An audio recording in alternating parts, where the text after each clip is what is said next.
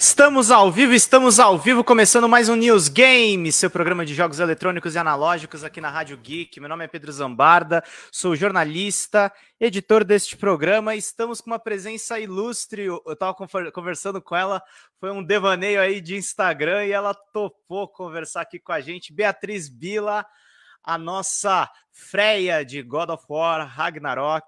Tudo bem, Bia? Como é que você está? Kratos! Agora já virou grito de guerra. Boa noite, Pedro. Boa noite, pessoal. Não estou acompanhando aqui exatamente aonde que a gente está passando, mas a Rádio Geek, br.com .br. ah, já vou até... .br, tem lá no nosso, tá, a gente está no Facebook agora, né? Então ah. vocês acompanhem Rádio Geek é, BR tudo junto, vocês já acham a fanpage e tá rolando a live por lá. Mandem perguntas, gente, que é muito importante para vocês participarem. A gente quer que esse bate-papo coloque. E pegando o seu grito agora que você falou agora no começo, Beatriz, é, como é que foi interpretar? Você fez o God of War de 2018, como é que foi completar a história, a história da Freia, como é que foi esse processo? Gostou do resultado final e o que, que você tem achado do jogo? Eu vi que você estava repostando várias coisas, as pessoas platinando, as pessoas comentando a dublagem que está muito boa mesmo. Como é que foi essa experiência? Conta pra gente. Querido, eu vou comentar muitas coisas, isso e muitas coisas. Eu não sei para quem já esteve nas minhas lives, já assistiu alguma coisa. É, eu sou assim, a pessoa. Mandem perguntas, isso aí, mandem perguntas, mandem nudes. Não, não precisa mandar nudes. Mas, gente, mandem tudo, dinheiro. Não sei se você tem o superchat. Tem, tem o, não, vou tem o superchat. Não tem o superchat, mas tem o Padrim, então se quem quiser virar assinante Padrim. lá do Drops de Jogos, ó, padrim.com.br barra Drops de Jogos, vai estar tá aí fixado no chat para vocês uhum. acompanharem. Vamos lá. Muito bem. É, mas para quem já acompanhou alguma entrevista comigo, alguma coisa assim, sabe que tudo pode acontecer. Então, eu já vou avisar para vocês, gente, que eu estou morrendo de calor. Já eu troquei também. de blues. Nossa, você é aqui de São Paulo, Pedro? Eu sou aqui de São Paulo e tá, tá 20 e pouquinhos, né? Eu tô aqui com uma situação complicada, que eu, eu falo alto nesse escritório onde eu tô, eu tá tudo fechado aqui, também tô sofrendo. Gente, não, e assim, é, hoje eu passei um dia, eu já vou começar com as terapias, por isso que eu falo assim, ah, quem, quem tá acostumado uhum. com as minhas lives, então, assim, sempre tem um momento de desabafo, um momento de descarrego. É, eu tô com um pouco de pressão baixa, então vocês não reparem ah, que eu, assim, eu vou ah, comer uma farofa. Cadê? Depois eu faço propaganda, mas talvez eu coma um pouquinho aqui durante, por isso que eu demorei um pouquinho mais para entrar, abri a janela, é, vim aqui de um dia, né, não sei que bairro que você tá, Pedro, mas assim, choveu pra caramba. É.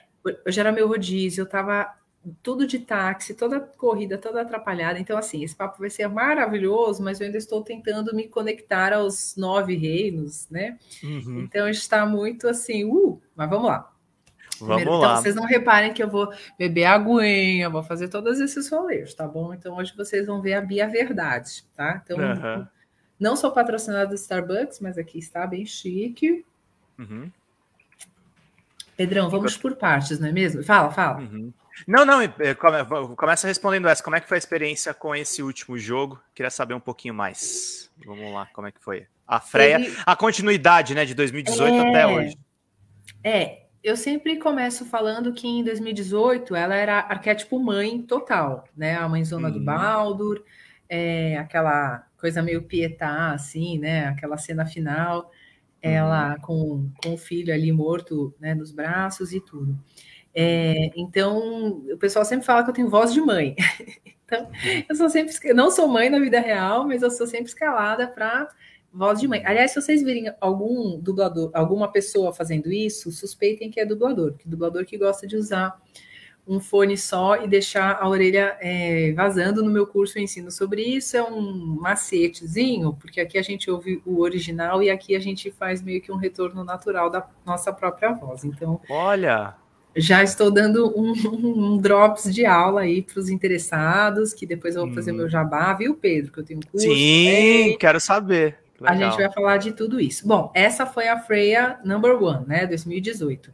Uhum. A, a nova Freya, digamos assim, ela veio com outro significado, ela veio né, com outra personalidade, ela veio guerreira. Então a gente não vai ver mais a Freya do jeitão que ela estava no primeiro jogo. E até em termos de voz, isso mudou totalmente a região que eu estava trabalhando ela. o, eu não posso falar o nome nem do diretor, nem do estúdio, mas eventualmente eu vou dar uma escapadinha, eventualmente vocês vão, ah, não, porque o fulano, pode ser que escape aqui, mas é, foram estúdios e diretores diferentes em relação ao 1 e ao 2, né? ah, né?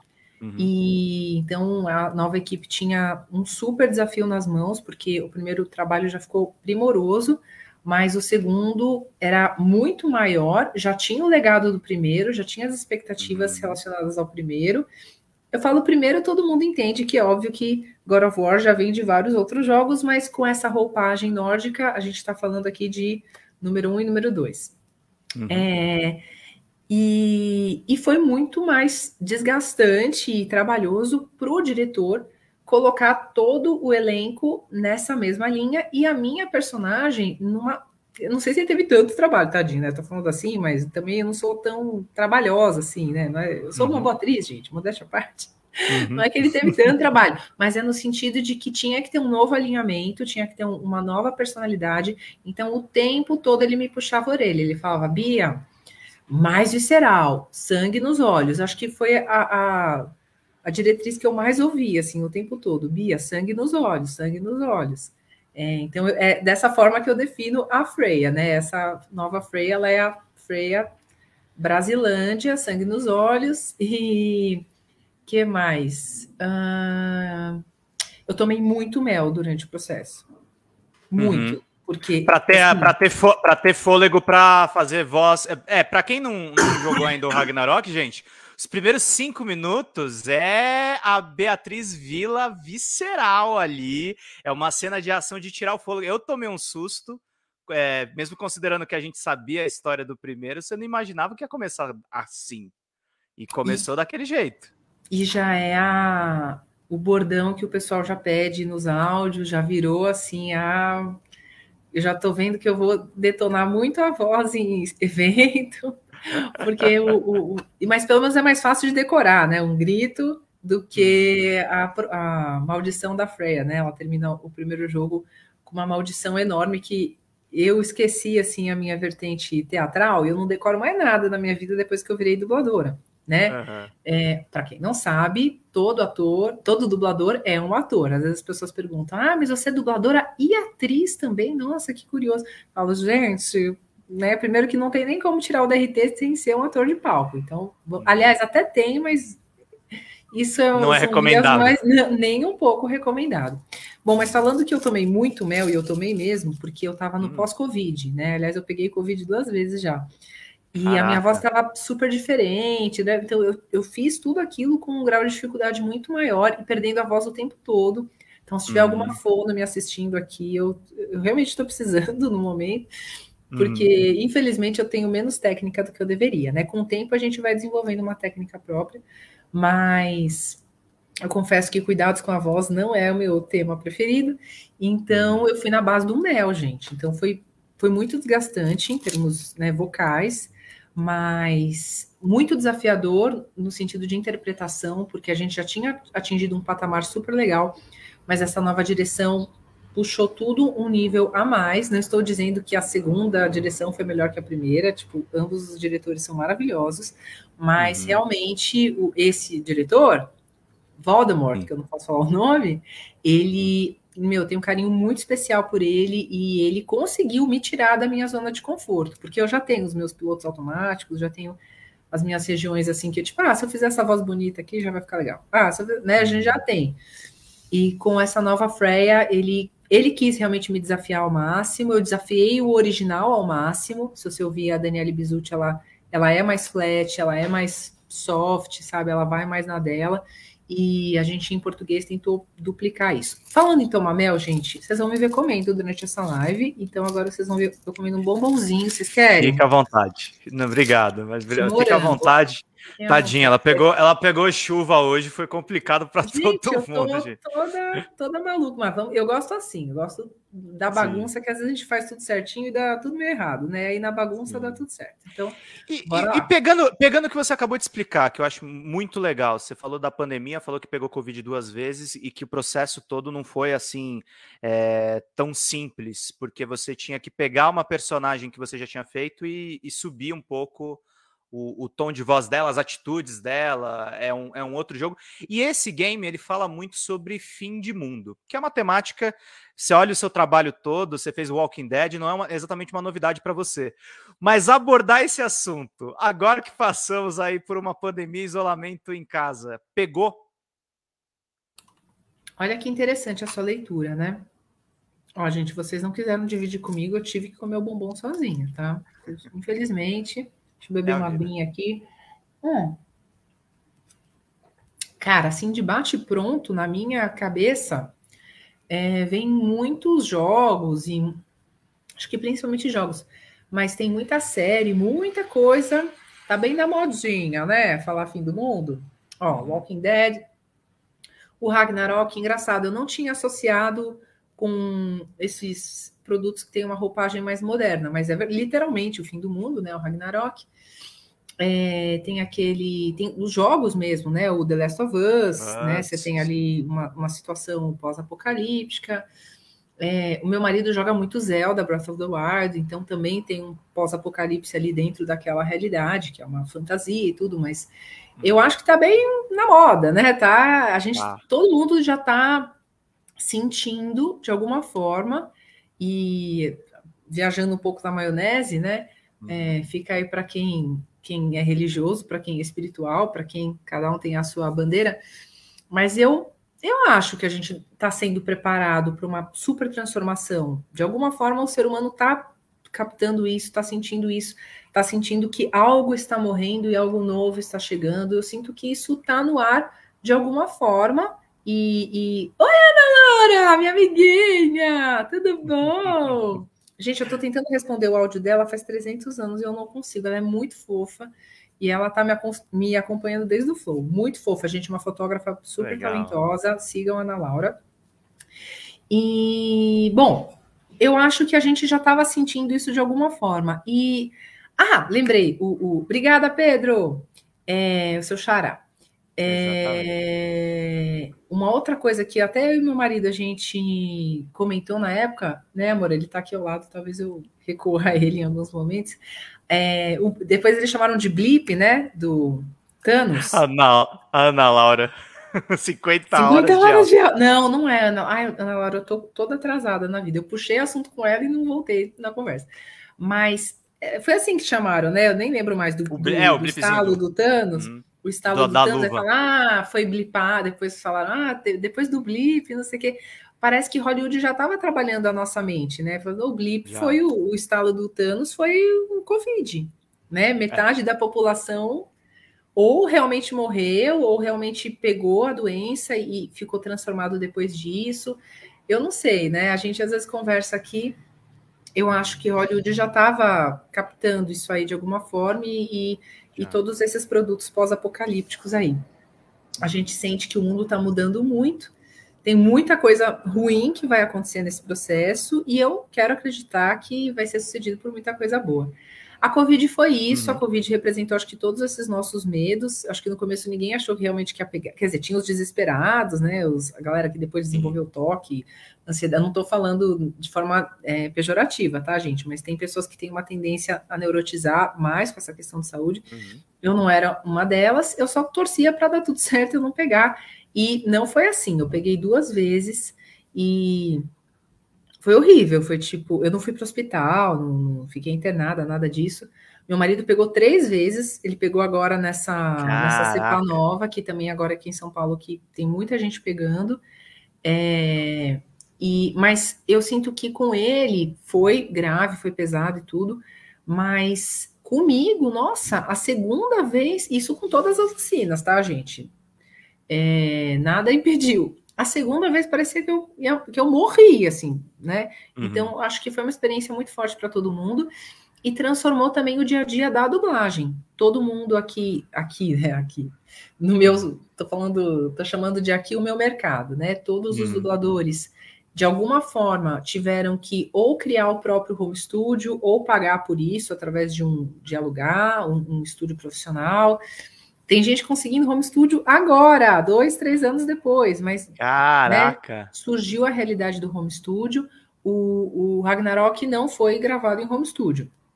é, foi em estúdio presencial, mas as coisas já estavam um pouquinho mais, entre aspas, tranquilas, mas ainda assim, vira e mexe com algum um dublador ou outro pegando, uma escala ou outra sendo adiada, porque ainda tinha gente técnico, chegou a pegar, sempre uh, nesse cenário aí pós-apocalíptico que a gente está vivendo. Na verdade, né, de uma forma minimizada, de uma forma suavizada, mas se você fizer uma leitura política também, né, como a gente estava falando uhum. aqui antes, Pedro, a gente está vivendo, né, Sim. uma coisa muito esquisita, tá tudo muito esquisito, tá muito, né, tem uma coisa no ar assim que tá todo mundo, é tudo muito forte e Sim. a gente ainda está tentando descobrir isso e talvez você matou a charada, né? Acho que esse tema ragnarokístico, hum. de alguma forma, ele, ele comunga com, com isso aí que a gente está vivendo e sentindo, né?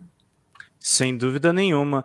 E voltando um pouquinho mais, é, vamos lembrar um pouco também do nosso passado que foi bacana também. E você fez muita série, você fez muito Walking Dead, você fez aqui, eu tô vendo o teu, o teu currículo completo aqui. Fez This Is Us, Blue Bloods, tem o, o, o, é Sons of Anarchy, um monte de série que eu gosto. Você gosta de assistir, assistir séries? Você entrou na dublagem um pouco por conta disso. Eu queria saber por que, que Beatriz Bila decidiu, além de ser atriz, que você tem que ter a formação, ser dubladora necessariamente. Vamos lá. Eu não sou uma grande assistidora de séries. Gente, eu tô comendo uma farofa eu já vou fazer começar os jabás. Essa farofa hum.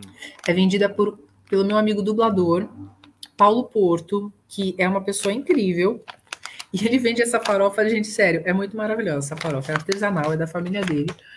E a gente começa a comer e a gente fica viciado, porque é um super quebra-galho, sabe? Para momentos hum. como esse. Mas vamos lá. Paulo de correria. Porto, é, o Paulo Porto, para quem não sabe, bom, ele dublou um monte de coisa, mas eu lembro muito dele daquela.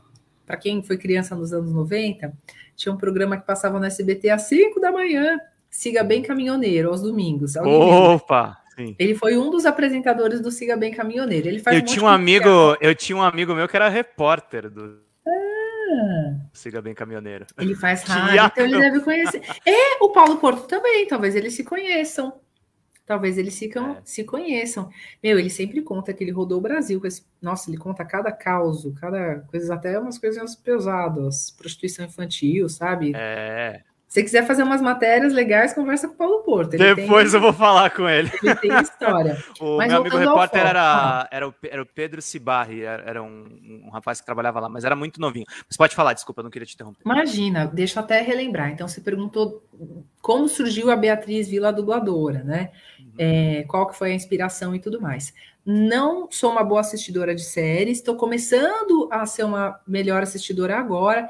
A gente colocou aqui Netflix, as uh, os streamings todos, e HBO Max, antes a gente não tinha nada, quando a gente morava numa outra casa não tinha nada. Eu, eu realmente preferia não assistir tanto, porque você fica o dia inteiro trabalhando com produtos relacionados a entretenimento. E realmente eu não tinha o menor interesse de, de continuar, tipo, ah, eu dublei tal série, então vou chegar em casa e vou ver. É claro que é muito legal, mas eu saí um pouco de uma coisa que eu era quando eu era adolescente, de ser a geek zona que sabe tudo, porque começa a virar um estresse mental muito grande.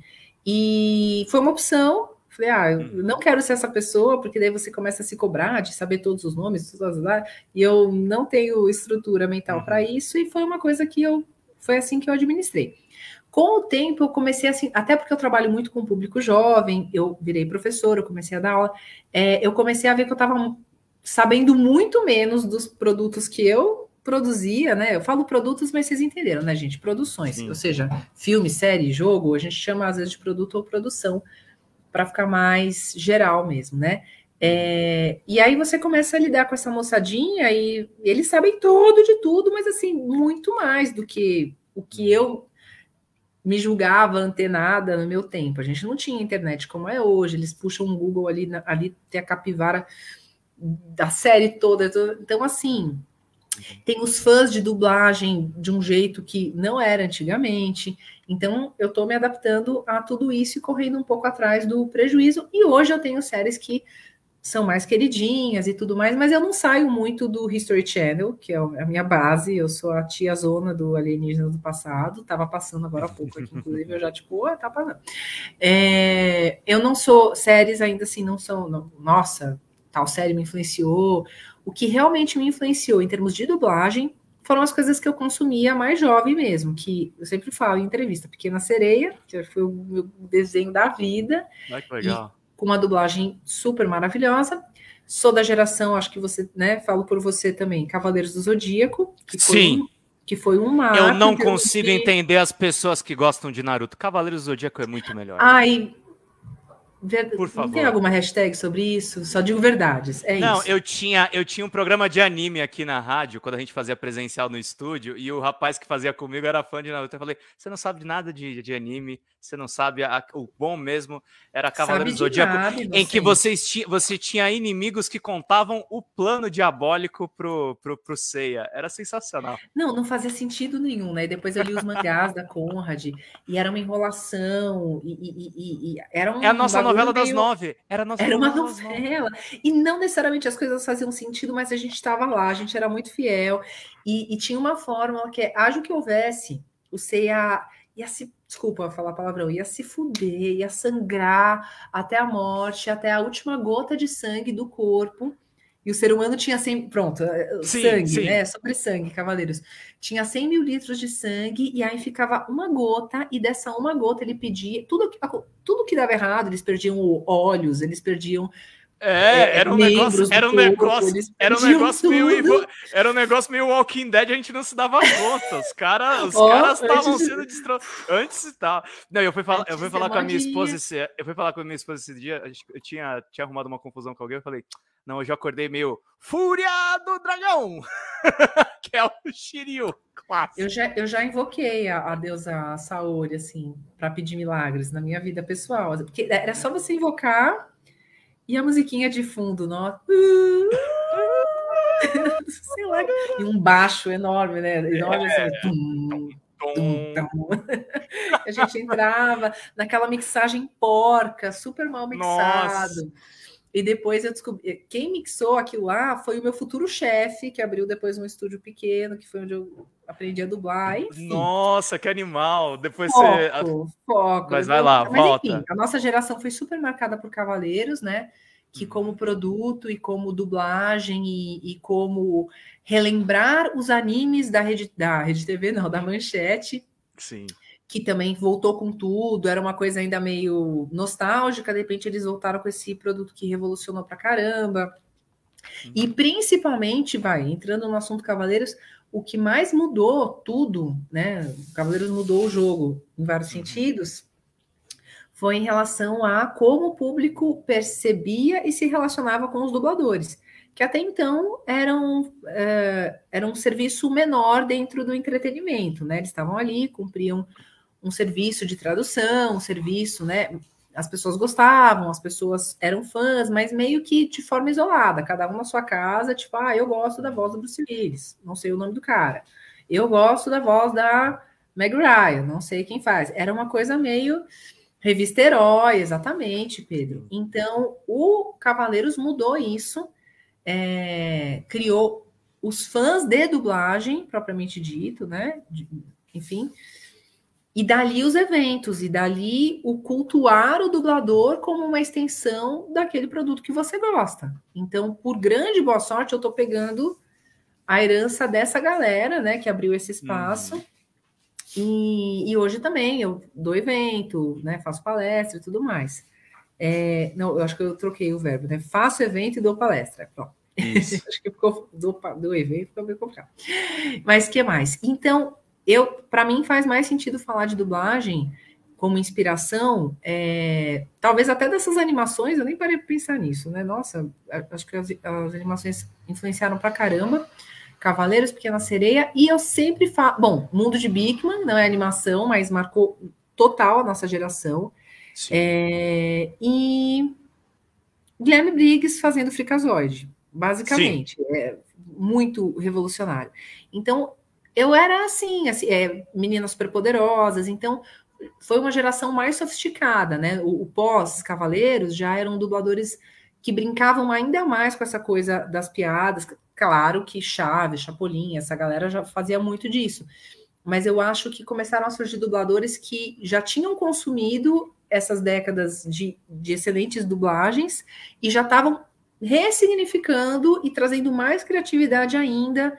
Já eram dubladores que, que já sabiam melhor inglês, que já sabiam brincar com essas influências externas e com a própria influência da própria TV, né, na vida diária. Enfim, o, Briggs realmente é, é, é, é, o estandarte nesse sentido. Gente, eu sou muito fã do trabalho do Briggs, mas assim, nem Também. acompanho muito ele na rede social hoje. Eu sei que às vezes ele, ele tem, se mete em umas tretas, não estou falando, não estou defendendo ele nesse sentido, tá? Eu não conheço ele uhum. pessoalmente, eu estou falando enquanto legado de fã. E a Bia Dubladora tem a ver com essas referências. É, no geral, o pessoal até me pergunta, tipo, ah, se eu não fosse dubladora, o que, que eu ia ser? Eu com certeza ia estar no meio artístico, mas fazendo outras coisas, porque dublagem ela surgiu como uma solução para várias coisas que eu já gostava. Eu já era aquela aluna na escola que gostava de falar inglês, eu tocava violão, eu estava sempre no mundo das artes, né, e das comunicações. Cantava, fazia teatro, então com certeza eu iria para alguma coisa nesse sentido.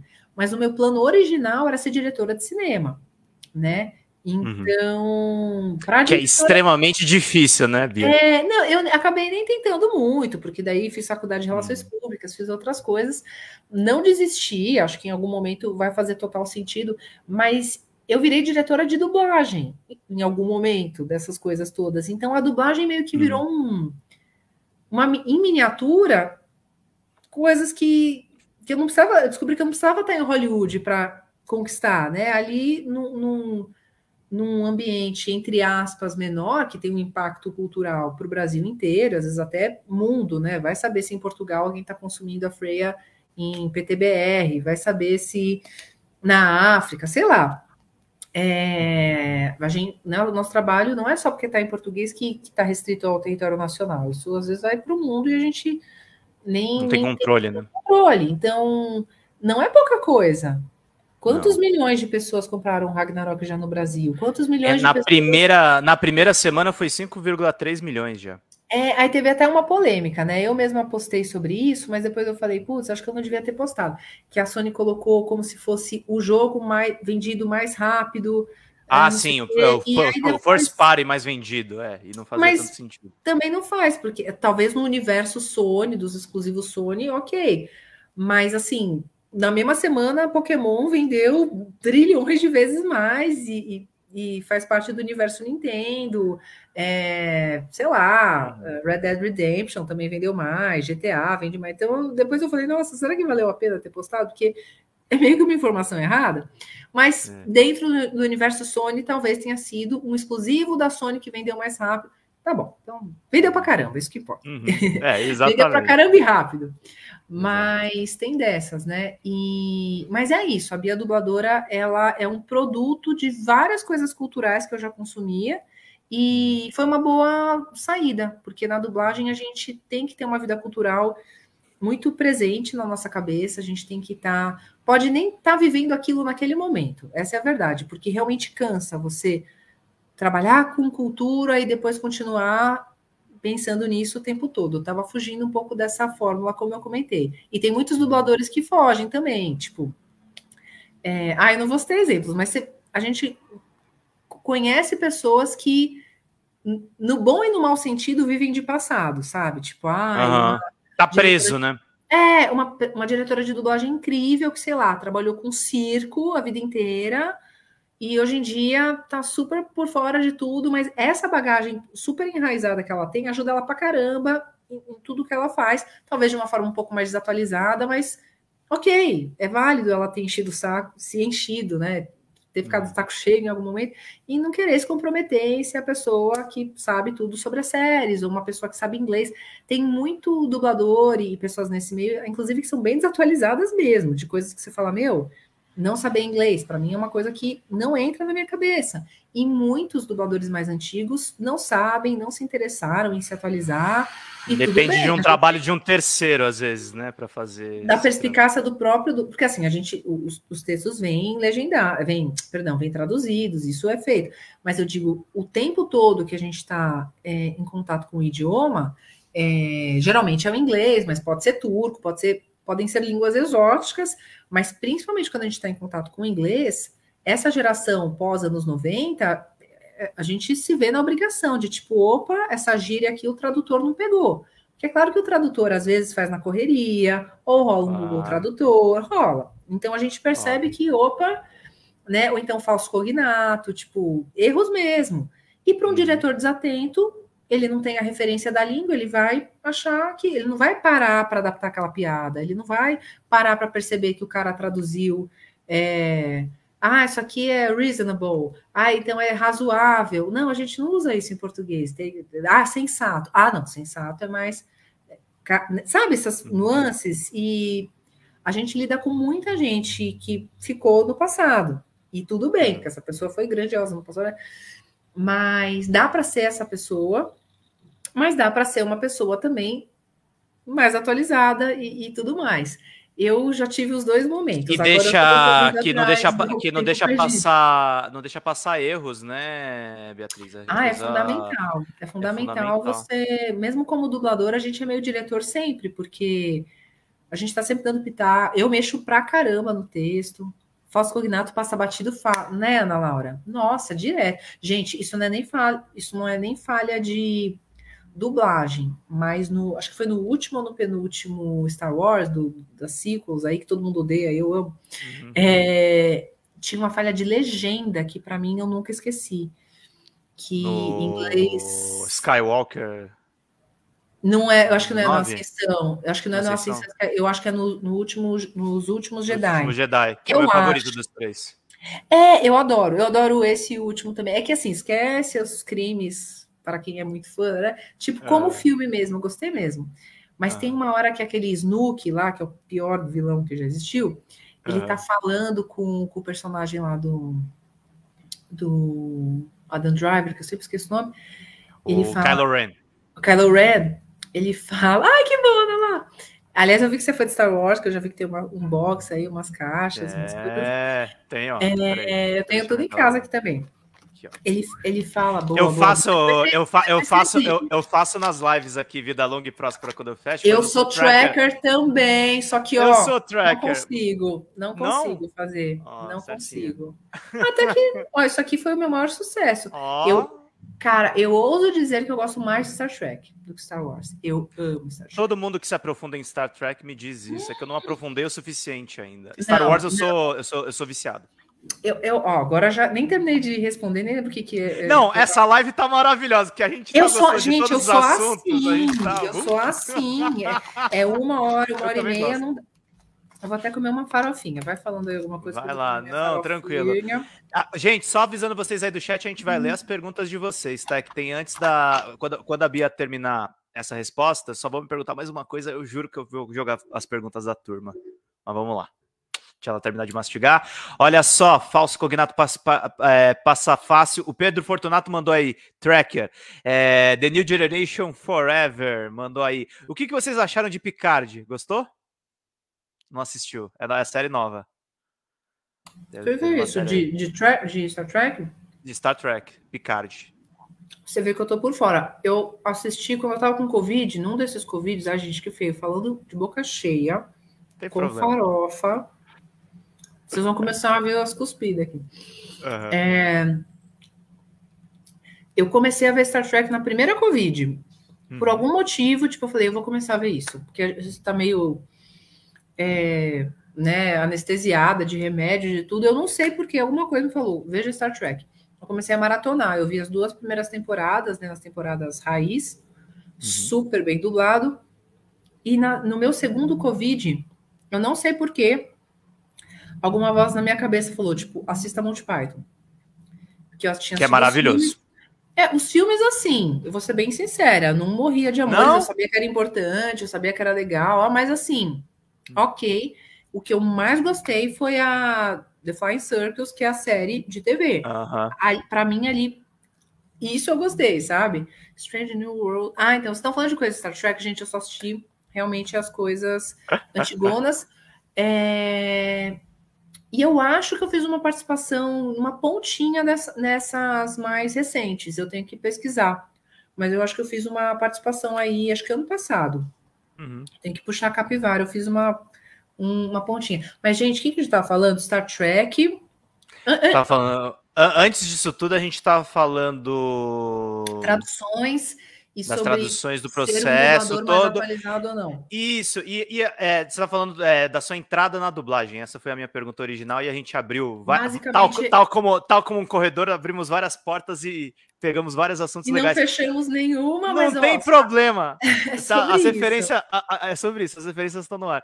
Uma coisa que eu queria te perguntar é. Ai, não, deixa eu fechar já. uma. Fecha, deixa eu fechar fecha, uma, fecha, Pedro. Fecha, fecha, vai lá, Pedro. Vai lá, vai lá. Virou Pedro agora. Pedro. Isso. Gente, essa farofa tá fazendo milagre, porque eu tava super zonza antes de começar e agora tá eu melhor? Estou, tô tendo superpoderes. É, ó, então, vocês entenderam que dessa miscelânea toda é, e eu já era atriz de palco, assim, mesmo adolescente, tudo, eu sempre fiz teatro amador. Então, só para fechar tudo isso, gente, a dublar. Tá, tá, vendo essa, esse caldeirão que não é do Hulk, nem do Mion, nem sei do que, uhum. que é? Uhum. Mas tá vendo esse, esse monte de coisa? Uhum. Sem falar literatura também, que eu tenho uma. A Ana Laura sabe, que né, nós somos uhum. claricianas, né? Então, fãs de Clarice Spector. Clarice é maravilhosa. Então, né?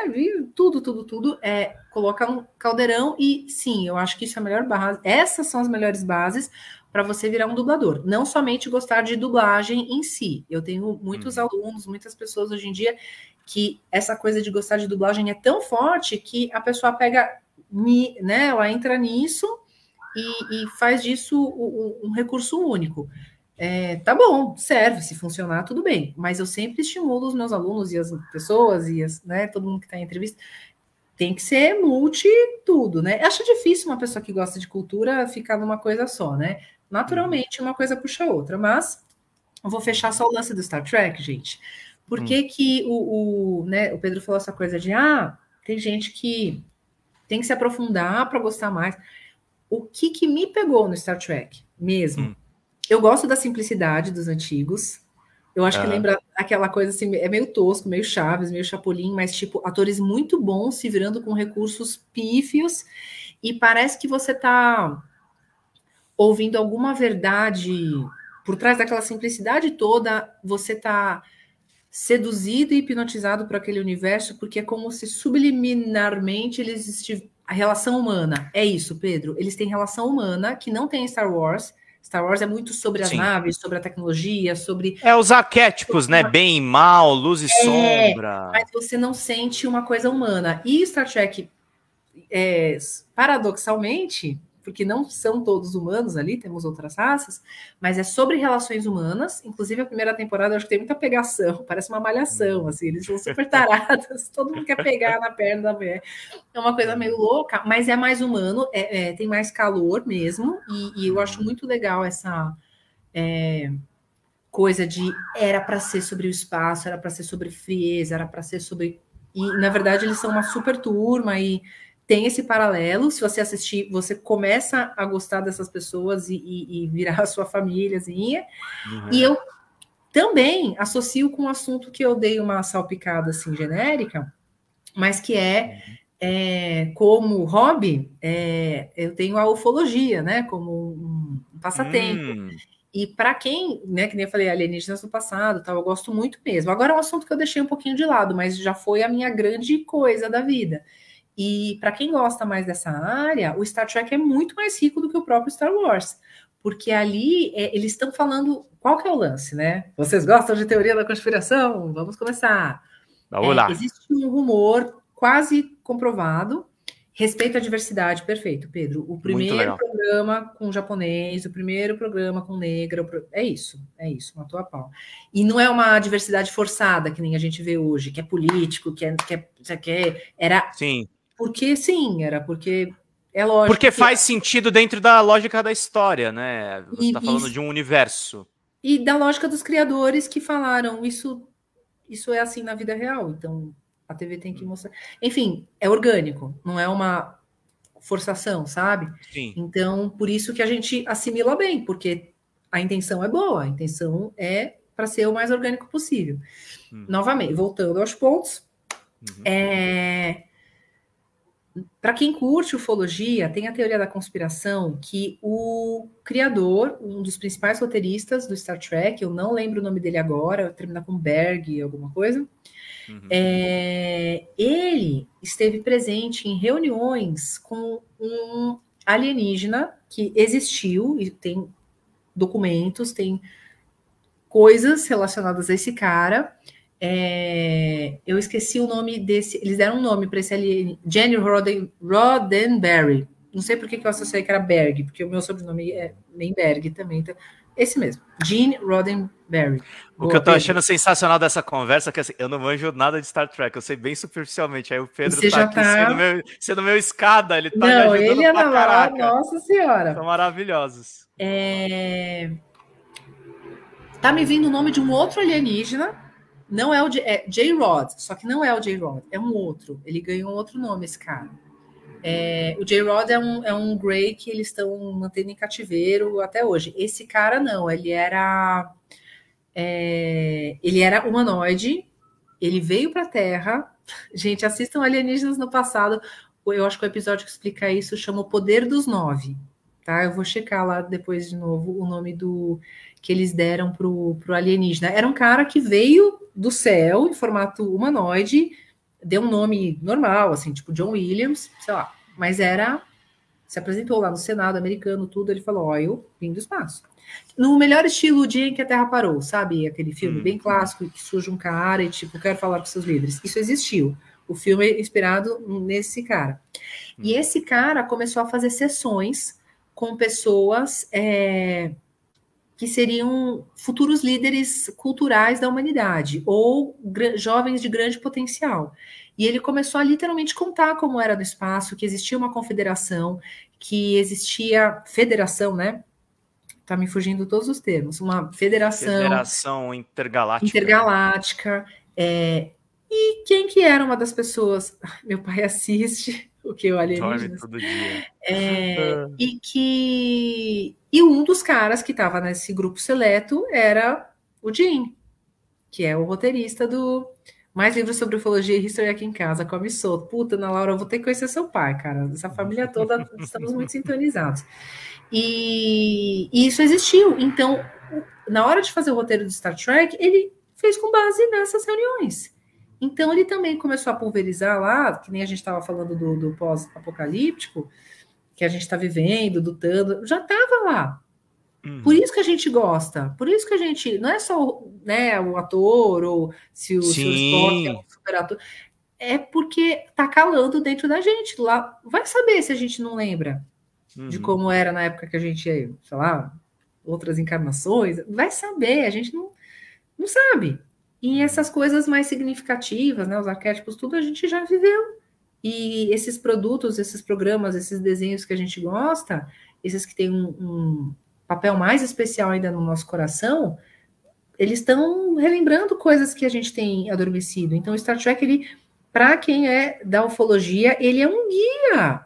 Eles falam de arcturianos na década de 70, a gente está começando a entender os arcturianos hoje, são raças de alienígena legítimas, e eles já punham lá com uma fantasia tosca, pintava de verde, fazer uma caixa de papelão, mas já era coisa que a gente está estudando em exopolítica ou exopolítica.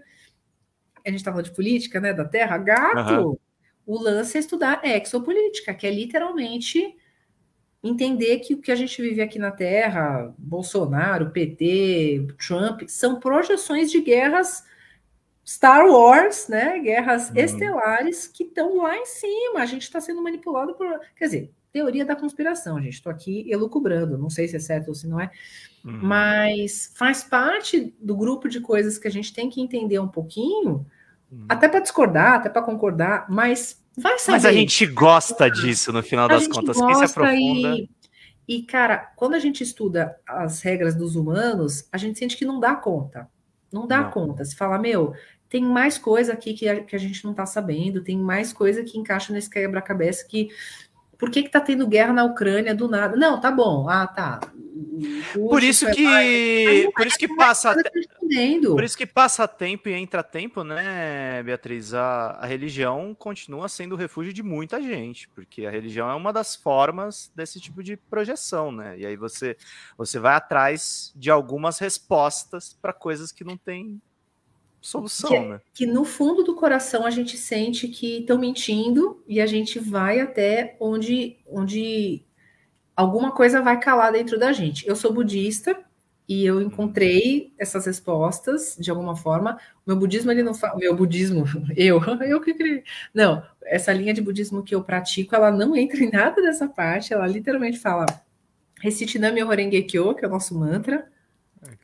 É, ai, fofoca interplanetária, Pedro, super. O que é curioso, né? Eu sou budista, mas geralmente a galera da ufologia fica mais no espiritismo, que é que é mais literal, assim, tem linhas de espiritismo totalmente ufológicas. Eu gosto de entender um pouco sobre isso, mas a filosofia mesmo, eu gosto do budismo, porque para mim, de todas as linhas que eu, bom, enfim, eu nasci num lar é, judaico-cristão, porque tenho influências é, de judeus, né, por genética, mas culturalmente a minha família é super católica, mas eu nunca me identifiquei muito, não. Então, eu realmente tive uma luta religiosa até encontrar, e o budismo que eu pratico é, nunca vi nada igual, assim. Não é aquela relação que existe uma autoridade, que é Deus, que é Jesus, que é sei lá quem, e você tá sempre se reportando a essa autoridade, e você é um nada, e você tem que se corrigir porque tudo que você faz é errado,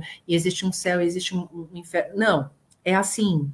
Você e o universo fazem parte da mesma coisa, você tem controle da sua vida, e o que você não tem controle, você tem proteção, você vai conseguir tudo que você precisa está dentro de você, você é um micro-universo que se conecta com o macro-universo, então, fazendo o mantra, esses universos se conectam, as coisas vão fluir na sua vida, mesmo com desafios, tudo vai se mostrar caminhando para uma coisa acertada, passe essa mensagem para os outros. Então, assim, ah, ok, agora faz sentido, porque todo o restante para mim é tenha medo de morrer, tenha medo de viver, você estava então nenhuma realmente é, calou dentro de mim. E, gente, é isso, né? Lives com a Bia. Eu já aviso antes, porque é assim, tá? A gente tem, você, o Pedro, o jornalista, tá com, com aquele roteirinho, falou, meu Deus, eu fui. Nem Não, fui, eu tô, eu tô com zero. Dois, e a gente já tá falando de Religião. Eu tô feliz, eu, não, eu tô feliz pra caramba, porque a gente foi, eu adoro lives assim quando é um pouco mais impre, é, imprevisível, porque testa um pouco também a minha capacidade de improviso e de achar ah, perguntas não, às vezes que eu não solamente improviso. É isso aí. Mas eu queria te perguntar aqui antes da gente passar para perguntas da turma aqui, que tem algumas aqui no nosso chat já prontas, é, eu já entrevistei o Briggs, eu já entrevistei alguns dubladores, e o que eles sempre me contaram sobre dublagem para games é que vocês recebem o texto e por conta de uma série de contratos do, das, dos estúdios, vocês não podem ver as imagens. Isso aconteceu em Ragnarok? Você já está acostumada com esse Sim. processo? Foi assim Sim. assim mesmo? Vou pedir só uma pausa, porque tudo mudou e agora está frio. Então eu vou fechar a janela. Vai lá, vai lá, vai, vai lá fechar. Jabá, vai falando Vai coisas. lá, não. Te agradecer a todo mundo que está aqui com a gente, pessoal. A Beatriz está aqui falando pra caramba um monte de coisa interessante. Vão curtindo, vão compartilhando, vão curtindo, vão compartilhando. Obrigado aí, o Pedro Fortunato. Obrigado ao Cal Tóquio, que mandou uma pergunta aqui também no nosso chat. Ana Laura Barci, muita gente aqui nos assistindo. E, gente, os programas do News Games, lembrando, são sempre às terças-feiras quintas-feiras, às nove e meia da noite. Olha, a Beatriz já está de volta aqui com a gente. Mas me explica aquela história lá da, da, do, da dublagem às cegas. É isso mesmo. É literalmente a melhor maneira de definir. É... Eu não, a gente não sabe até hoje o real motivo de. Hum. Na verdade, são muitos motivos, né, da gente não ter a imagem. Eu imagino, isso nunca foi verbalizado. Eu juntando os meus pauzinhos aqui, eu imagino que seja sim uma questão de segurança, porque uhum. esses jogos têm um, impacto maior, às vezes, até do que, quer dizer, as séries, é claro que tem, mas eu digo, né, a galera dos jogos, assim, parece que é uma seita, né? Eles realmente uhum. vivenciam aquilo, parece que de forma ainda mais intensa. Então, não pode é, vazar nada de forma pirata, tal. Mas eu acho que o principal motivo é porque os jogos dão muito mais trabalho, né, para serem feitos. São. E enquanto a gente está fazendo a parte da voz, eles ainda estão finalizando o visual. Então é literalmente porque não tem nada pronto. Para eles dar menos trabalho é, gravar as vozes antes e fazer a parte visual depois, que vai casar com essa voz, por isso que daí a gente chama de voz original, né? O, o, o eles não o, os dubladores lá, a, na maioria das vezes, eles não têm, inclusive Pixar, animações, eles não têm a preocupação com fazer o sincronismo, porque é o contrário, né? Eles gravam livremente a voz e depois a equipe de animação vai fazer o sincronismo. Então, é. esse, esse problema eles não têm. Mas a gente no Brasil recebe já, né, assim, somente o áudio e aí sim a gente vai ter que ter o compromisso de fazer o sincronismo quando são cutscenes, né? Que a pessoa tá on, ou seja, o rosto realmente aparece. E, e olha que desafio, fazer sincronismo sem imagem. Então a gente faz o sincronismo na onda. Ai, aqui falou mais, então aqui a onda tá mais. Ah! Puta, que trampo! E por isso que dublar videogame, né, ou localizar, que é um termo que eu sempre brigo um pouco, porque para mim tudo é localizado, né? A partir do momento que você adaptou uma piada, isso já é uma localização. A uhum. tradução já é uma localização. Então, para mim, eu brigo um pouco que, tipo, ah, dublagem tradicional, localização é para videogames. Não, tudo bem que no videogame inclui um processo muito maior de localização mesmo, porque tem todo o menu do jogo, tudo é legendado, ou uhum. dublado, ou os dois, ok. Eu, uhum. eu gosto que exista realmente esse outro termo, no sentido de. Depois, até um, um diretor de dublagem de games me explicou. É quase que uma luta da categoria para se diferenciar da dublagem tradicional mesmo, porque exige muito mais coisa. A gente dubla é, em condições mais precárias, exige uhum. mais interpretação do, do ator, é, é um universo que tem que estar tá tudo muito mais sincronizado e tem um ecossistema, né? O jogo é um ecossistema e um filme é um sistema mais dupla, tipo imagem, som, né? Uhum. É uma coisa mais fechada. Simples, é complexo, mas simples. E o videogame tudo tem que estar tá mega alinhado com tudo. Uh, dito isso, sim, é por isso que é mais trabalhoso, é por isso que a gente ganha um pouquinho mais, mas sim, é, isso tem que ser, isso tem que repercutir no cachê também, porque claro. ainda mais uma Freya da vida, uma mãe Miranda. Uhum. São papéis principais, né? Uhum. Que você vai uhum. gastar um tempo maior interpretando em condições que você não tem tanto acesso. Tem uma pergunta do meu sócio aqui, que é o Causito, que é editor lá de conteúdo do Drops de Jogos. Ele pergunta aqui no chat: Você sente que a representatividade das mulheres está melhorando nos games pelo, seu pelo, pelo aumento do seu trabalho na dublagem? Não? Ai, drops dos games, gente, novamente, né? Eu não Nossa. sei posição política, não sei essas coisas, mas eu sou. Eu não sou muito politicamente correta. Eu não, falo as dramas, eu falo as verdadinhas. Então, assim, esse lance da representatividade é uma coisa que eu não sou uma boa pessoa para falar desse assunto. É engraçado que a gente falou no contexto do Star Trek, até porque era uma, era uma bandeira sem bandeira nessa época, né? Era simplesmente um bom senso, tipo, sim. Ah, as pessoas apareciam lá, sim era, né, é justo, é, é certo que seja assim, né? É, então era espontâneo. Uh, mas desde que eu comecei como dubladora, eu lembro que tinha uma professora no curso que eu comecei que ela tinha muito essa bandeira. E ela levantava a bandeira de que ela trabalhava pouco, porque se você olhasse, tinha muito mais papéis masculinos do que femininos. Então era por isso que ela trabalhava pouco. Hum. E, cara, isso me desculpa, minha professora, seja lá onde você estiver, uhum. Não poderia ser menos verdade. Eu nunca trabalhei pouco, eu nunca tive, quer dizer, eventualmente tem algumas vacas magras que coincidem com vacas magras do mercado em si. Então, assim, a minha agenda não representa isso, né? Uhum. A gente, eu tenho um monte de protagonista mulher, é, do que, que você está falando. Então, eu entendo que, ah, nos games, é verdade, se você olhar, né? Nossa, geralmente é um herói, é um cara, a uhum. mulher acaba sendo talvez uma donzela, às vezes ela é uma guerreira que tá junto. Eu vou ser bem sincera, eu nunca tinha parado para pensar nisso, e eu uhum. só sei que a minha carreira é 90% feita de mulheres ou protagonistas ou coadjuvantes importantonas ou vilãs chefonas de um jogo. Então, a minha carreira não é um sinal de olha como as mulheres, olha como tem pouca mulher nos games, porque eu dublo muito videogame. Inclusive, Pedro, já pegando um gancho lá de trás, você hum. falou de Naruto. Eu também certo. não sou naruteira, mas eu uhum. dublei o videogame do Naruto, eu sou a Meiterumi. Ah, é do Shippuden, eu vi aqui. É, que é uma personagem que eu adorei fazer, achei que ficou super legal.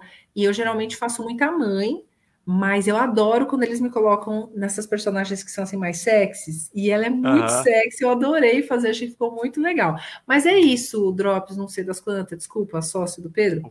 Eu não sou a pessoa mais. É, não, as mulheres, eu, eu, não sou essa pessoa, tá? Eu sou a pessoa que lança as verdades com base na minha biografia, minha história de vida. E eu acho que, de verdade, essa, essa minha professora era mais porque ela não era uma dubladora tão boa assim. Que ela. Sendo tipo, sincerona, né? É, tipo, ela se sentia, ela colocou a culpa na sociedade de um bagulho que, na verdade, entendeu? Então, Foi trabalho tem. dela. Trabalho tem para todo mundo. Dublagem é que nem publicidade. Na publicidade a gente fala assim: ah, para ser bonito tem que ser modelo. Na publicidade, não. Já reparou que tem propaganda com tudo? A publicidade é absolutamente democrática. Você tem que ter o gordinho para fazer tal coisa, a, a, feiosa, porque tem propaganda que tem a ver com a feiosa, que não sei o quê. Então, dublagem é isso. Você tem que ter todo mundo, voz para todos os tipos. É, voz de negra, voz de negro, voz de criança, que é diferente da voz de velho, tudo isso existe. Então, não, quem está reclamando que ai, tem pouca coisa para minha voz, não, gente, isso não existe. É assim. Hum. Pedro Fortunato está perguntando aqui: foi legal trabalhar com o Silvio Giraldi no ah, Walking Dead? Gosto demais dele. Então, cara, Walking Dead, vamos lá. Eu trabalhei muito mais com o Silvio no próprio God of War 1, porque ele era o Baldo. No Walking Dead, eu vou eu fico muito feliz que as pessoas lembrem tanto da minha personagem, que foi a Paula, mas ela foi pequena, ela, eu tive uma passagem no Walking Dead, né? Eu não sou, hoje eu tava com o Cassius Romero, tipo, eu, né, eu não sou o Negan, entendeu? Eu não sou a Carol, eu não sou uma. A minha personagem teve ali a sua importância, e mas foram, sei lá, três, quatro episódios, então talvez eles sejam pessoas melhores para vocês perguntarem aí, né? Estandartes do Walking Dead mesmo. Eu sou apenas uma ponta, mas que foi uma ponta que literalmente mudou a minha carreira, então sou super grata a The Walking Dead. Mas já fazendo outros ganchos, eu realmente eu sou uma dubladora muito conhecida pelos games, né? Os meus grandes personagens estão todos nos games e não, não todos, né? Mas as primeiras perguntas do Pedro foram relacionadas a séries, né? Se eu assisti a séries, mencionou The Walking Dead. E uma série que é uma das poucas que, coisas que não são videogame, mas que tem um retorno absurdo da galera, é o This Is Us, que agora tá na Globo e que, enfim, tava nos streamings da vida. Ó, oh, This Is Us, ó, Ana Laura.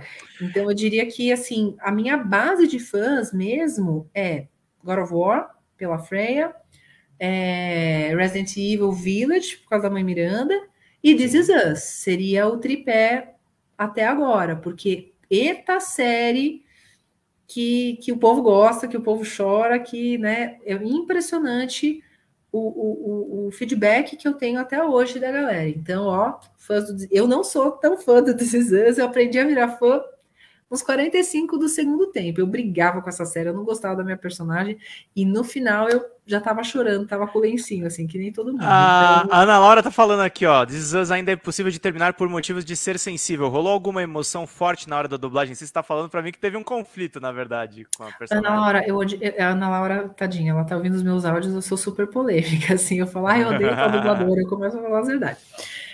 Tem, tem coisa que, que todo mundo ama, eu já começo as entrevistas e falo, odeio tal coisa. Eu acho é... que não tem é. problema nenhum. Fala. Não, real, tipo, todo é, mundo ama The Last of Us 2. É, tipo, é, é, não, não, não, e é péssimo. Acho que as pessoas que também falam assim, não, gosto de tudo. Tipo, ué, ah, então, personalidade, não, pô. Não. não Por isso que eu já falo lá sobre a atriz Vila. Prepare-se para ouvir verdades, porque A vida já é tão chata, né? A gente já tem que se poupar de falar tanta coisa. Então, se vocês estão aqui, vocês devem, no mínimo, gostar do meu trabalho. Então, eu convido vocês a tentarem se cativar pela minha personalidade maluca. Mas é isso, galera. Na verdade, eu não sou tão maluca assim, né? No dia a dia, eu sou uma pessoa bem sem graça. Mas é bom, nas entrevistas, a gente também dar vazão ah, ó, tanta Pedro coisa Fortun, gente... ó, você conseguiu um fã aqui, o Pedro Fortun. Não gosta de Last of Us. Eu adoro Last of Us. Ai, então, cara, eu não gosto. Nem Uncharted. Jesus Maria José. Uncharted, cara, eu acho que eu vi meu. Nem sei se eu lembro do meu marido jogar. Eu gosto, eu mas assim, Uncharted vi... pra mim, Uncharted pra mim é meio comida sem sal, sabe? Eu é, é o. Como diz um mas... youtuber que meu marido assistia bastante, é o Lara Croft com cara, né? Tipo, é isso. É o, é o Larry Croft, que você sabe que a é. história era, não era pra ser Lara, era pra ser Larry. Aí no Uncharted eles fizeram. O Larry. pronto, é isso. Pronto, é então é mais do mesmo, né? É... é... Não, mas é que nem eu gosto do Star Wars que ninguém gosta, essas coisas, entende?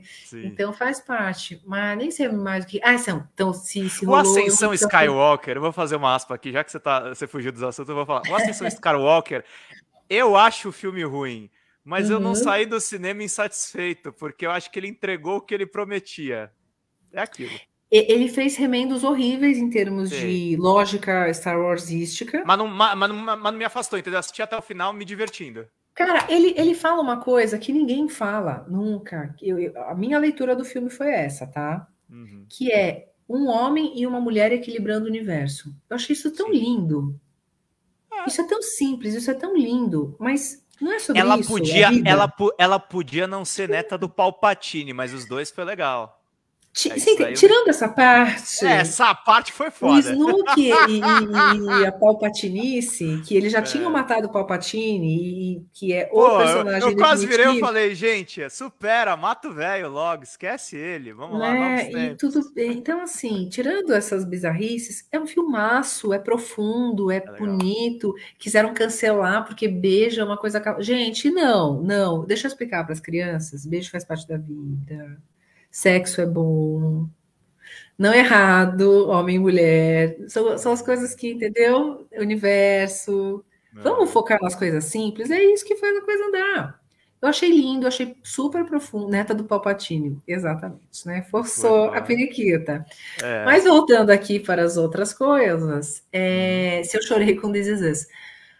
Ana Laura, e qualquer pessoa que seja fã de This Is Us. Eu odiava, eu sempre amei odiar This Is Us, tá? Então eu fazia aquilo lá naquele estúdio, e olha que eu sou cancerianíssima, eu, sei, eu sou o público-alvo de This Is Us, tá? Eu sou a uhum. chorona number one.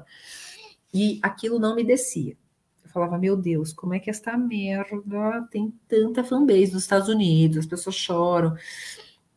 E, e tipo, mil temporadas eu só odiando a minha personagem. Mas por quê? A Kate, que é a minha personagem, ela é chata.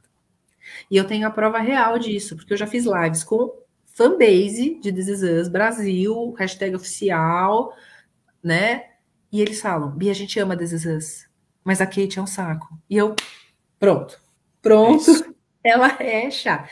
Mas, mas, na última temporada, ela amadureceu, ela ficou legal ela teve uma jornada de é, redenção. E eu comecei a gostar no último episódio. Literalmente, eu chorei no, no último episódio. Eu falei, gente, dá para começar. De... Ah, para mim, a série começou na última temporada. Sabe quando. Uou, uhum. agora. Pegou, Vamos começar? Vamos. E aí acabou. Então, essa é a minha história com This Is tá, gente? Mas eu não quero assistir para mim, porque dizem realmente que o lance são os outros personagens, principalmente o Jack. O elenco todo de dublagem é incrível. O Jack é o Wilkin Mazei, que tá, meu, arrasando. A Maíra Paris, que é a Rebeca. É, é só fera, é só fera na dublagem também. Então, e... mas é isso. Eu sou uma fã, uma fã tardia e a Kate é um pouco complicadinho, assim, porque como ela tem a questão da obesidade, você já começa, nossa, que série forte, é, a série que está tratando de um assunto que é tabu, esse assunto é triste, é super triste. Você começa a ver a realidade de uma mulher que é belíssima, mas luta uhum. com questões de saúde. Nossa, já te pega no começo. E assim, e depois ela tem um filho cego, é só Nossa, só desgraça. Desafio, é. Mas mesmo com esses problemas externos super, né, é, desafiadores, ela sempre é meio mimadinha, ela é sempre meio, ah, não sei o que. Então, sabe quando a amiga não dá para te defender? Coisas uhum. gigantescas na sua vida e você tipo ai, vou ter um chilique no fim da tarde porque Será que eu como essa coxinha? Esses eram os dilemas dela, sabe? Eu dublava com uma certa preguiçinha. E depois ela evoluiu muito. Ela ficou super interessante. A atriz, a atriz sempre foi boa. Eu gosto muito da Chrissy hum. Metz. Mas deixou, eh, parou de ser só sobre vamos falar sobre, sobre uma pauta, uma agenda, vamos falar sobre obesidade na TV. Não, era tipo uma personagem que se desenvolvia mesmo e a obesidade era só um pano de fundo que que ficou para trás. Agora era sobre: será que ela vai se divorciar? Será hum. que ela hum. vai continuar com o cara simplesmente porque ela teoricamente teria que se satisfazer com qualquer coisa porque ela é vista como obesa? Não, era um, era um super casal. Eles foram. Spoiler, tá, galera? Dane-se. Hum. Eles eram um super casal, os dois obesos que se amavam, que se descobriram nessa condição e o casal mais. Eu vou falar fofo, vai parecer trocadilho maldoso, mas é fofo. Uhum. Uhum. E eles se divorciaram porque não fazia mais sentido e tudo bem. Isso foi triste? Foi. Porque aquele uhum. casal que você fala, meu, esses dois se amam, eu não vou se divorciar nunca. Mas também teve um sentido, também teve uma coisa que, cara, ela evoluiu e ele ficou para trás. Uhum. Tudo bem. E, e, conseguiu outro cara e, e continuou a família. E eu achei isso mais corajoso do que somente a pauta Sim agenda. Da... Não, não é nem agenda o termo que eu quero usar. É assim: vamos colocar essa pessoa numa situação super difícil e vai ser meio que só sobre isso, e os outros personagens vão ter mais desafios. Então, é, é porque acaba entrando muito... naquela coisa que você falou do Star Trek, né? Fica oco, né? Não é uma coisa que é muito profunda. O Fica... Pedro Fortunato tá perguntando uma coisa aqui, ó. Série antiga que você adora rever sempre. Para mim é Seinfeld. Eu sempre revi, é, é, é revisito. E Friends, é, e aqui falo, Friends hum. não rola mais. Não rola mais porque não tá em stream ou porque. Não, não, ele não consegue mais assistir. De, de tá tanto que ele. É. Não entendi não o, o lance do Friends. Deixa eu dar só uma olhadinha aqui, ó. Não, não, Beleza. ele não consegue mais ver porque ele não gosta mais. É, acho que é ah, mudou é, o gosto. Mudou, é, mudou o gosto. Então, Seinfeld é uma das minhas séries da vida, Friends é uma das séries da vida, e às vezes tem uns. Eu gosto muito de comédia, né? A minha. Eu gosto de Friends também. A minha meu produto definitivo de comédia é TV pirata, mais do que do que próprio Monty Python. Eu acho. Então, vamos lá. Seinfeld, eu demorei muito para conseguir entender, para sacar a vibe do, da série. Inclusive, dublado não pega nenhuma das nuances, né? É humor judaico, de nova-iorquinos, ponto. Você tem que entrar nessa atmosfera. Eles são neuróticos, eles fazem é, é, eles têm um olhar super específico, você tem que embalar, abraçar a personalidade daquelas, daqueles seres e entrar naquilo. Uhum. Mas não é o, o, público brasileiro geralmente não, não saca, porque realmente eu, eu acho eu não acho uma comédia universal, sabe? Você tem que realmente pensar como nova-iorquino para aquilo fazer sentido. Uhum. É, Friends, total, a gente pode fazer a leitura da bobice. Eu já torci muito o nariz para Friends, mas era a coisa que estava passando na TV a cabo, que não tinha streaming na época, na minha hora livre, que era de manhã. Eu estudava à tarde e de manhã passavam maratonas de Friends. Cara, foi ali que eu aprendi inglês, foi ali que. Se você assiste uma, se você começa a maratonar, eu você também. começa a sacar a vibe da coisa. Eu acho que Friends é a melhor série do mundo para aprender inglês. Realmente você vai é, e então, meu, tem um super lugar no meu coração, sabe? A gente, quando pega avulso, parece bobo, parece leve demais, né? mas quando a gente marano, mata, maratona, eu quase não consegui verbalizar, uhum. maratona, tanto o Seinfeld quanto, quanto o Friends, eu precisei maratonar para encaixar no, na vibe certinha. E é isso eu mesmo. Acho que tinha, eu, eu acho que tinha uma coisa meio, meio, meio moda. Você falou de Cavaleiros do Zodíaco, né? No, uhum. Quando a gente estava na live. É, a gente era moleque na época e tinha uma coisa assim, era a série que a, as meninas e os, os, moleques assistiam. Então era Nem muito legal por isso. As meninas, cara, tinha uma questão. Pra, eu não era muito autorizada a assistir, era para menino. Era, era, muito violento, tinha muitos pais que não, não deixavam os filhos ver, por, é, porque assim, né? É, sangue, Nossa, então eu tinha umas amigas, eu tinha umas amigas meio porra louca, então, porque elas assistiam. Não, eu também quebrava essa, esse lance, mas era, eu lembro que tinha isso, era uma coisa de menino. E ah. aí sim, vou falar com o seu sócio, representatividade zero, né? Não tinha mulher nenhuma em Cavaleiros, era a China que passava Não, não, não era de Cavaleiros que eu tava falando, eu tava falando de Friends. Friends era uma, coisa, ah, uma coisa da, modinha, da molecada, é, da modinha total, da, que as meninas e os, e os, moleques assistiam. Não, menina muito mais. Friends acho que muito era mais. muito mais de menina, né? De mocinhas. E sim, sim, sim. Mas assim, tinha esse, essa coisa meio boboca que parecia uma comédia romântica. E se você realmente der uma chance, a comédia é muito bem, muito perfeita. Meu personagem preferido de Friends é o Chandler ele tem um humor muito sutil, você tem que também estar tá na nuances, também você tem que é, é, é, pegar né, muita sutileza ali, que depois, com o tempo, você assistindo de novo, você. É um balé de comédia ali, é tudo uma sutileza e uma coisa encaixa na outra e, e é muito legal. Então, eu não nem tenho como escolher um preferido entre esses dois. É, Modern Family, olha, nunca assisti. Também não assisti. E que mais que a gente está falando de comédia? É, Monty Python, que também é outra coisa super específica, que você tem que maratonar para sacar, e às vezes nem saca, mas, cara, o que eu mais gosto de Monty Python é porque eles estão se divertindo tanto fazendo aquilo, então às vezes não faz sentido, é, mas eles são é tão engraçado. talentosos, eles são tão talentosos. Eu sempre esqueço o nome dos meus preferidos. Chandler Bing, Chandler. Meu sonho era dublar Janice, cara. Eu fiz uma participação no Friends também, duas, aliás, que o pessoal ah, é? também sempre fiz nessa dublagem de São Paulo. Eu esqueci o nome das personagens, mas tá lá no meu, no meu blogzinho antigo, no, no meu YouTube tem. Foi uma honra, né? Porque justamente eu já, eu já era fã, eu já é, alguém mandou aqui um negócio. Eu tô só um pouquinho de olho aqui no, nos recados, porque às 11h30 eu vou passar no negócio na Rede TV. E eu não, preciso para passar para minha mãe que falou: eu não vou estar tá acordada. Não, não, então, ó, fala, não, não, fa, não, falar para você só, já é, agradecer a Ana Laura e ao Pedro. Eu, agora, agora eu tô com problema de tempo aqui, eu preciso encerrar. Vamos mesmo, encerrar. Gente. Ó, me chama para parte 2, viu, Pedro? Porque chamo, esse chamo sim. Aqui, esse papo foi bom. Uma coisa puxou na outra, mas só o Monty Python. Eu não tô lembrando o nome dos, dos atores maravilhosos. Não, dos atores mesmo. É...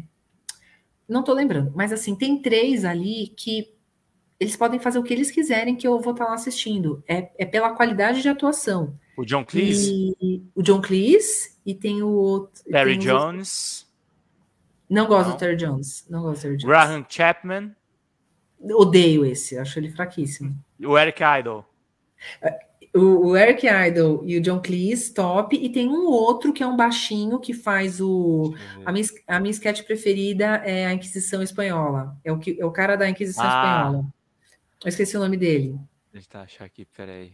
Ah, Meu Deus, eu amo esse homem. Nossa, agora fui, fui atrás aqui para tentar achar o sentido. Eles são vida. maravilhosos. O, são. O, que eles, o que eles fazem, mesmo sem sentido, faz sentido. E eles são super corajosos e, e, e quebrando regras numa época que aquilo nem estava tão segmentado, tão sedimentado na cabeça das pessoas para ter, ter, Terry Jones, Jones, não. Não, não. É outro. É outro. Uhum. Eu acho que é outro, né? Não sei.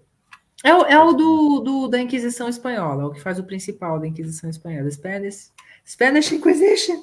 Spanish é... Inquisition, deixa eu ver aqui. O que faz do. Será que é Terry Jones o nome dele?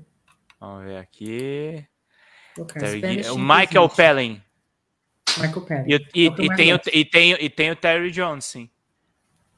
Terry Gilliam, Michael Payne, Palin e o Terry Jones. O Terry Jones era um que era mais gordinho depois emagreceu?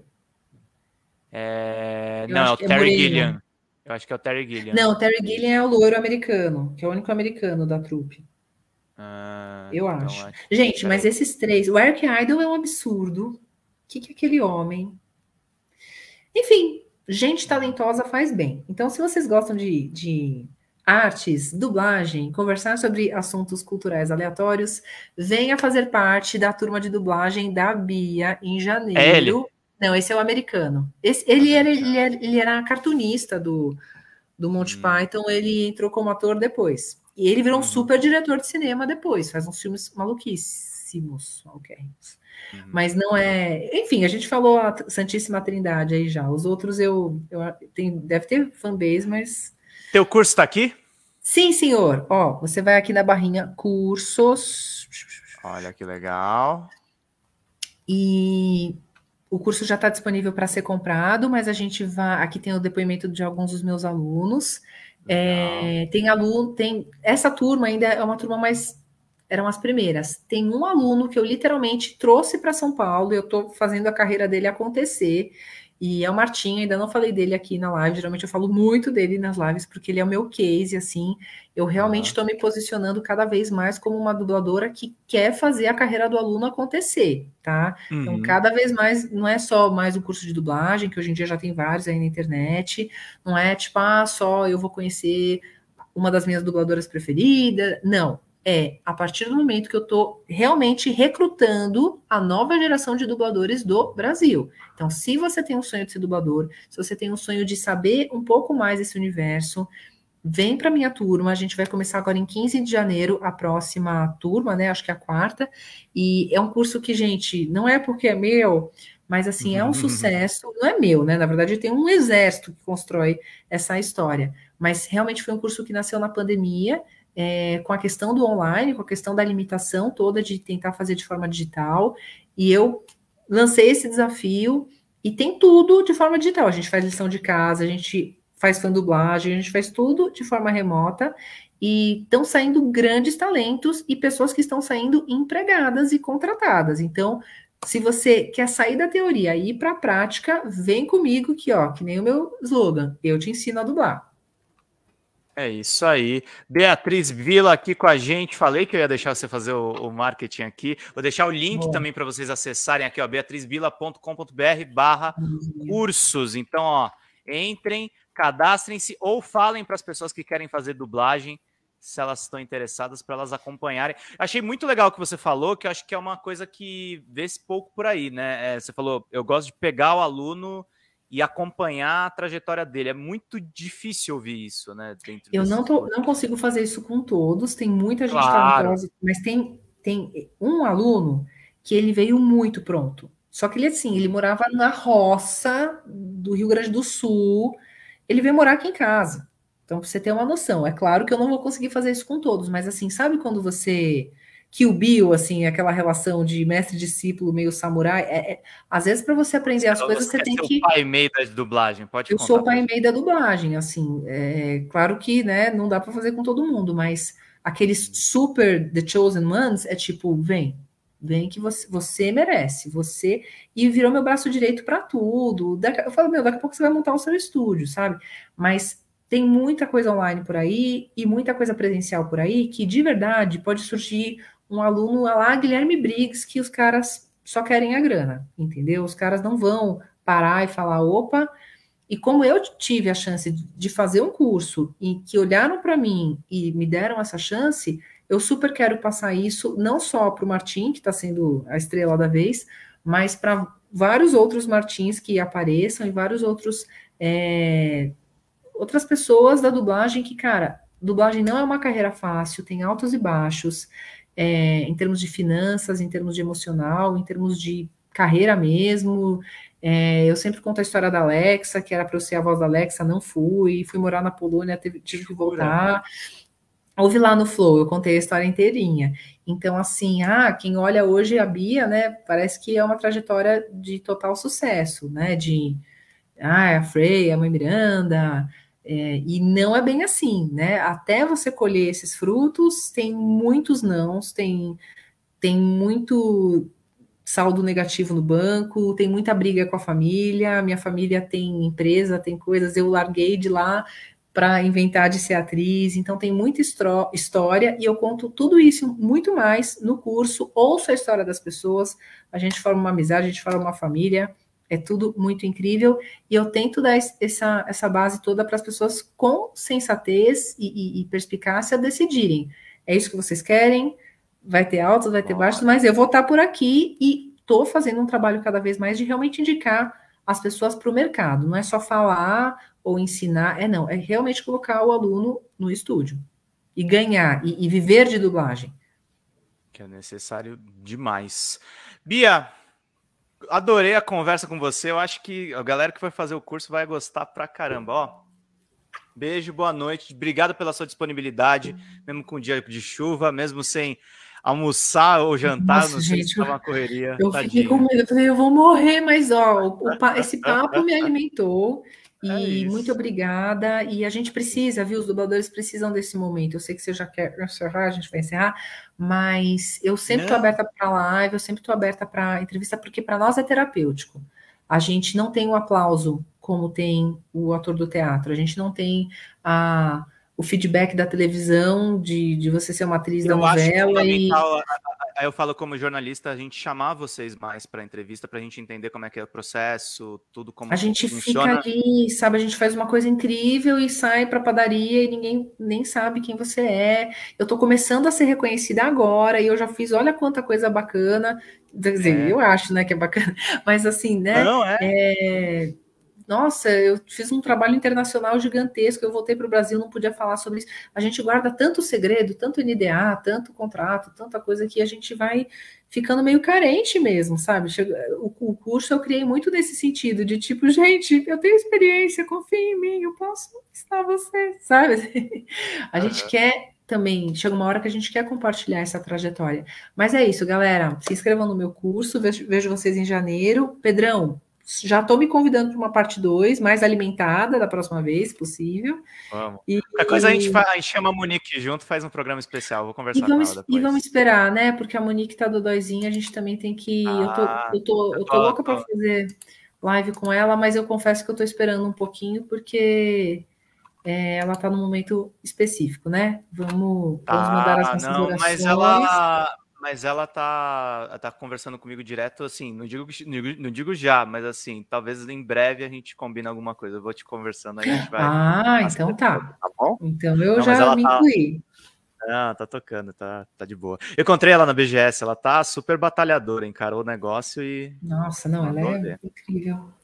Ela é incrível e que pena que a gente não se viu na BGS, né? Eu fui dois dias e me enfiei lá no palco da Sony porque eles não me chamaram. Eu tinha super essa relação com a Sony, mal resolvidinha, assim, sabe? Tipo, uhum. eu era freia, mas eles não me chamavam para evento oficial. Esse ano eles me chamaram. Tchau. Bom descanso, Boa querida. Boa noite. Fui. Tchau, tchau. Valeu, Pedrão. Adiante. Tchau, tchau. Tivemos a Beatriz Vila aqui conosco, gente. Estendemos até um pouco a live porque estava muito boa a conversa. Vou ler rapidamente as notícias com vocês. É...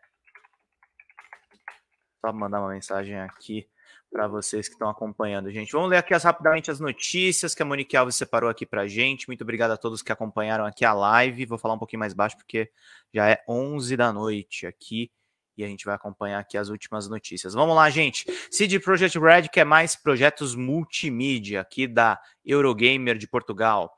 animação de Cyberpunk Edge Runners é um sucesso de tamanha escala que motivou a CD Projekt Red a apostar em mais projetos que levam seus universos para outros meios de entretenimento. A série da Netflix se tornou um furor no mundo todo e ajudou o jogo a bater novos recordes de atividade. Quase dois anos após o lançamento original, também ajudou a vender mais unidades de Cyberpunk 2077. Está prestes a influenciar a abordagem da CD Projekt nos seus projetos. Ma Michael Nowalski da CD Projekt Red foi questionado por investidores se Edge Runners terá uma segunda temporada. Algo que recebeu uma resposta negativa, mas foi desenvolvida com um comentário interessante. Temos apetite de fazer mais espaço transmídia, por isso na animação visual linear ou live action esses planos não mudaram. Por isso faremos mais anúncios quando estivermos prontos para isso. Cyberpunk 2077 ajudou as finanças da CD Projekt Red a registrar um trimestre de grande sucesso e a companhia refere que Edge Runners tem responsabilidade nisso justamente na sua mais recente atualização. Produzida pelo estúdio de Trigger, Cyberpunk Edge Runners é um anime que foi recebido com grande sucesso e apesar de não existirem planos para mais temporadas, a CD Projekt Red Japan já disse que adoraria criar mais anime. Vão curtindo, vão compartilhando, vão curtindo, vão compartilhando, vão curtindo, vão compartilhando. Temos aqui The Callisto Protocol para vocês acompanharem o jogo que está aí chegando. Realidade ou jogo? Gráficos de Callisto Protocol impressionam. O lançamento previsto para 2 de dezembro, The Callisto Protocol, vem impressionando a cada trailer divulgado pela Ars Technica. O, o título de Survival Horror especial promete combates sangrentos e gráficos super realistas. É o que mostra o mais novo vídeo dos bastidores divulgado pela equipe do jogo no YouTube. O vídeo intitulado How Lighting Design in the Callisto Protocol Elevates the Horror com o designer de, de iluminação de Callisto Protocol eleva o horror, em tradução para o português, mostra o quão fascinante é o trabalho da equipe responsável pelo game. O material traz um pequeno vislumbre do que a Striking Distance Studios criou para a atmosfera de horror de Callisto Protocol. Tem o vídeo lá da Ars Técnica e muito legal aí que sites de tecnologia também estão cobrindo esse assunto que é muito importante, muito relevante. Vão curtindo, vão compartilhando, vão curtindo, vão compartilhando, vão curtindo, vão compartilhando, gente, que é bastante necessário. Vamos então aqui para essa notícia do canal Tech. Jogadores de Pokémon Scarlet e Violet conhece, con conseguem reembolso da Nintendo. A aguardada nona geração da franquia Pokémon deixou um gosto amargo para muitos fãs. Pokémon Scarlet e Violet, lançados na última sexta-feira, que foi 18 de novembro, para Nintendo Switch, vem apresentando baixa performance no console e diversos bugs. O resultado é uma onda de pedidos de reembolso para a Nintendo. Desde quando Pokémon Scarlet e Violet foram anunciados em fevereiro de 2022, a expectativa dos fãs foi para as alturas, mas conforme iam ser divulgados os trailers do jogo ao longo de meses, a baixa qualidade gráfica apresentada já começou a preocupar o jogadores. Isso tudo culminou em um lançamento com texturas pouco trabalhadas, quedas de taxa de quadros por segundo e muitos bugs, especialmente no modo online. Então a galera está pedindo reembolso e a Nintendo está atendendo a quem não quer ficar com o jogo do Pokémon que está com muitos bugs. Vamos para a última notícia de hoje, gente, que é bastante importante, bastante relevante. A gente falou com a Beatriz Villa, que foi sobre God of War Ragnarok. Vamos colocar aqui na tela. God of War Ragnarok vendeu 5,1 milhões de cópias na primeira semana. É, um recorde diz, segundo a empresa, que é o que eu falei para ela aqui, e ela reforçou que essa informação é da Sony, não é necessariamente do mercado. O Drops Jogos recebeu informações oficiais da Sony. God of War quebra recorde de jogo first party vendido na primeira semana, talvez first party entre os jogos da Sony. Aclamado tanto pelo público quanto pela crítica, God of War Ragnarok foi lançado no dia 9 de novembro e já vem fazendo história. Disponível para PlayStation 4 e PlayStation 5, o recente título da Santa Mônica Studio quebrou o recorde exclusivo de PlayStation mais vendido na primeira semana, com 5,1 milhões de cópias, segundo anunciado pela própria empresa em seu perfil no Twitter. E aí tem o anúncio aqui oficial deles para a gente fechar muito bem a nossa live de hoje, gente. Foi muito boa a entrevista, muito obrigado, Ana Laura, a todo mundo que nos acompanhou. Vida longa e próspera, gente. Boa noite para todo mundo. Boa janta para quem ainda não jantou, gente. Até mais. Tchau, tchau.